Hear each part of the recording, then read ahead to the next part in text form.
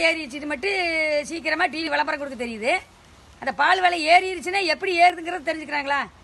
எனக்கு இருபது வயசில் ஒரு ஒரு லிட்டர் பால் இருபது ரூபாய்க்கு விற்ற பால் இன்னும் அந்த இருபது ரூபாய்க்கே விற்குது கூலி எனக்கு அந்த அப்போ வந்து கூலி ரெண்டு ரூபாய்க்கு இருந்த கூலி இன்னைக்கு இரநூறுவாய்க்கு வந்துருச்சு.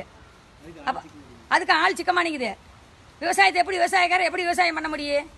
ஒரு முளை மல்லிகைப்பூ நூறுரூவாயினாலும் வாங்கி தலையில் வைக்கிறீங்களே ஒரு கிலோ கத்திரிக்காய் ஐம்பது ரூபாய்னாலும் ஒரு கிலோ தக்காளி ஐம்பது ரூபாய்னா வாங்கி திங்கிறீங்க. ஒரு கிலோ வெங்காயம் நூறுரூவாயினாலும் வாங்கி திங்க முடியுது.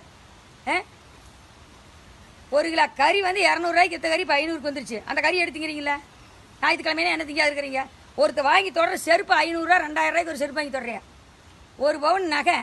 இன்றைக்கி என்ன விலைக்கு விற்கிது முப்பதனாயிரரூவா ஒரு நகை. அந்த பவுன் யார் வாங்காது இருக்கிறான் நான் கடையில் போய் பார்த்தா சவுளி கடை மாதிரி நிற்கிறாங்க நான் கடையில். காய் கடையில் நிற்கிற மாதிரி நிற்கிறாங்க நான் கடையில். அதெல்லாம் வாங்க தெரியுது. அந்த விவசாயிகளுக்கு மட்டும் அந்த இருபது ரூபா பால் காசு அப்படியே கொடுக்கணும் தீவனம் நூறுரூவாய்க்கு விற்று தீவனம் இன்னைக்கு ஐநூறுரூவாய்க்கு வந்துருச்சு. ஒரு கிலோ ஒரு மூட்டை தீவனம். தவிடு மாதம் ஐம்பது ரூபா ஏறிக்கிட்டே போகுது.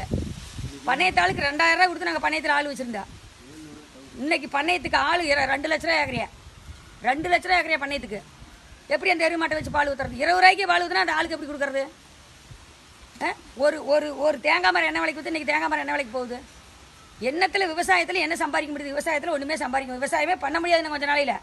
விவசாயத்தை விட்டுட்டு எல்லாரும் ரோட்டில் தான் எல்லாரும் காகிதம் பொறுக்க வேண்டியதா காயத்தை பொறுக்கி மழை காயத்து ரோட்டு கிடக்குவாரு. அதை பொறுக்கி தின்னுட்டு அப்புறம் புள்ள வளர்த்த வேண்டியதே ரெண்டு பிள்ளை இருக்குது நாங்கள் நடுத்தர குடும்பம்ங்கிறாங்களே நடுத்தர குடும்பம் மற்றது என்ன வாங்காது இருக்கிறாங்க? என்னத்தை வாங்காது இருக்கிறாங்க என்ன காரியம்